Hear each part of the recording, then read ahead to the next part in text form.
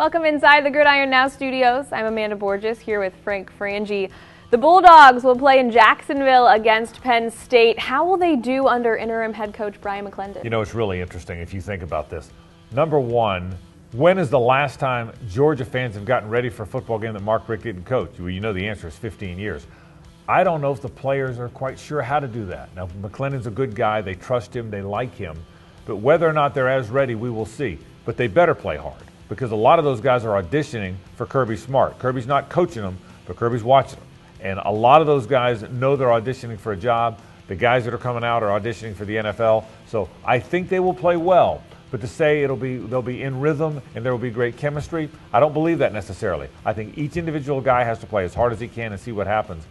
I don't know. It's going to be an interesting matchup seeing the Georgia Bulldogs play under somebody other than Mark Richt for the first time. How do the Dogs match up against Penn State? They've got more good players than Penn State, but Penn State's got all their coaches, right? Penn State, uh, James Franklin's done a nice job with that team. They're coming. It's taken longer than he thought it would take, but they're coming. So they've got their offense, they've got their defense, they've got their coaches. They're going to be in rhythm.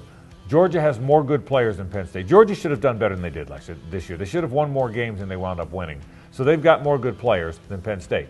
Penn State, though, knows what it's doing. There's no distractions there. That makes it a pretty even game.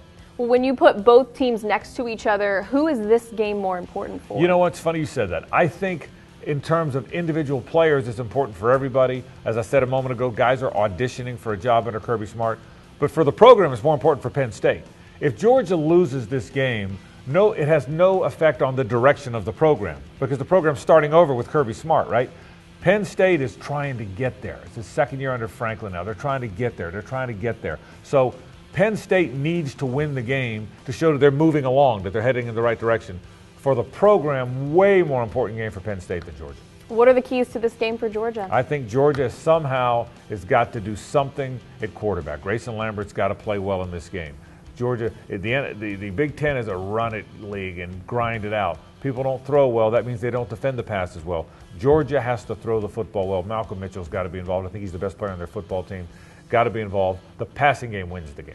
Well, Georgia and Penn State will kick off at noon on January 2nd at Everbank Field. For more on the SEC, check out gridironnow.com.